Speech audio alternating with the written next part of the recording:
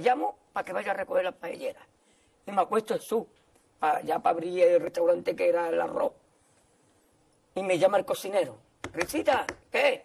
Ve por la paellera. Venga, que las dos de la tarde ya están aquí. Miren, bañador. En las chanclas. Todo despeinado porque no me dio tiempo nada a ponerme las chanclas y el bañador. Voy a la playa, había subido la marea.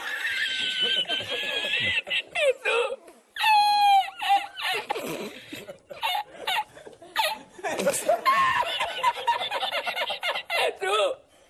¡Había subido la marea y encontré una paella!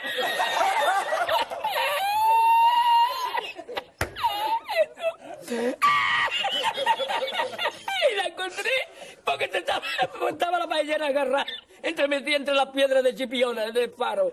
Y cuando entro en el restaurante me ve el cocinero con una paellera y adentro la vende paellera.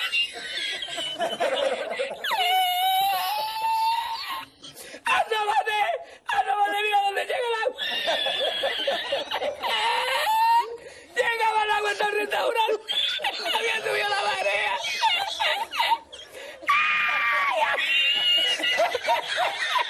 ¡Y tú! ¡Ay, qué hacemos! ¿Qué hacemos ahora! Con los dos sacos de arroz.